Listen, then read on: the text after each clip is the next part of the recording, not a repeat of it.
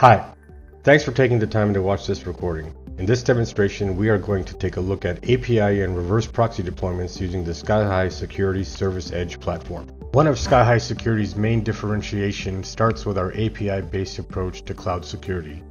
SkyHigh Security pioneered SaaS protection by embedding security directly into the workflows of top applications like Microsoft 365, Workday, Zoom, and more without the dependency of agents or clients.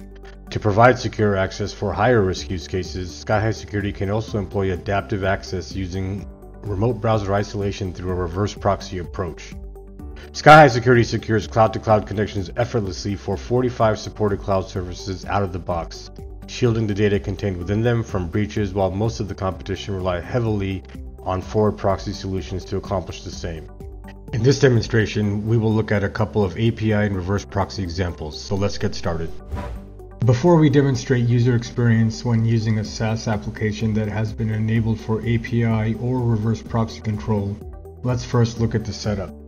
Here you can see we are logged into the SkyHigh Security Console under the Service Management UI which provides a centralized location for managing all cloud service providers that are integrated from an API or reverse proxy perspective.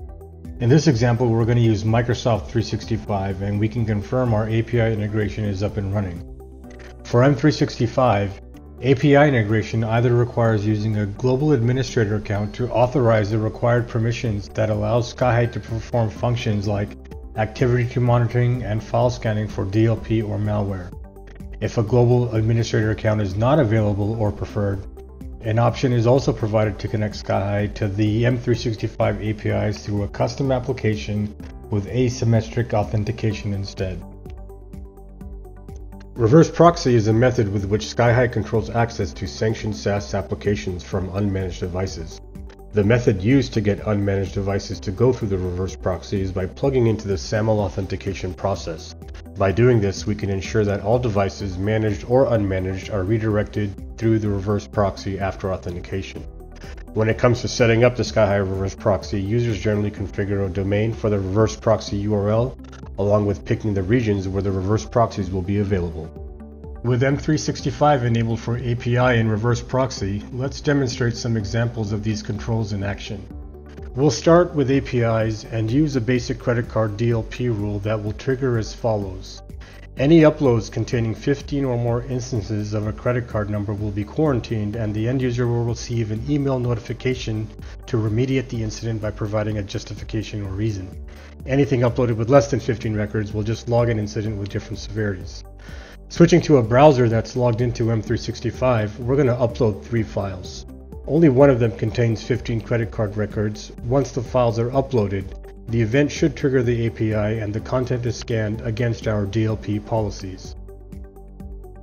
As you can see, the API has triggered and the file with 15 records has been replaced with a tombstone file informing the user that the updated vi the upload violated a policy. Similarly, if they check their email, we can see that email notification waiting for the user to take action. Switching back to the SkyHigh Security Console, we can navigate to the Incidents page to review the violations and all necessary details, including the matched highlights of the actual content that had triggered the policy. For the next API example, let's look at a collaboration control rule. This policy will block the collaboration or sharing of sensitive documents based on their classification label to any external domains.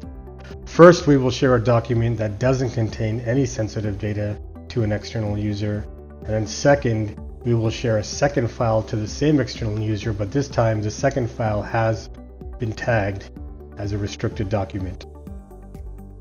The sharing event triggers the API to analyze the collaboration against the policy, and as we can see when we check the inbox of the external user, we only see the one shared document available for collaboration that didn't have the sensitive data. Switching back to the SkyHigh console policy incident page, we can see that the second shared file with the sensitive classification label was in fact revoked from sharing. For our last example, let's look at reverse proxy. Here you can see we have a policy that will apply DLP if the device accessing M365 is unmanaged. To determine whether or not a device is managed versus unmanaged, reverse proxy will perform a certificate check. So switching back to a browser, we're going to request M365, and because it is a SAML integrated service, once the user authenticates successfully, and for this demo, we have to cancel the certificate check to make the device unmanaged, and then we can see the user access M365 through the reverse proxy URL if you look at the address bar. And because our device is unmanaged, if we try to download anything, it will be tagged for a DLP policy, and in this case, if we try to download a file with sensitive data, the download is blocked and instead the user receives a tombstone file informing the user that the downloaded file violated policy. And switching back to the incidents page of the SkyHigh Security Console, we can also locate our blocked download incident with all the necessary details.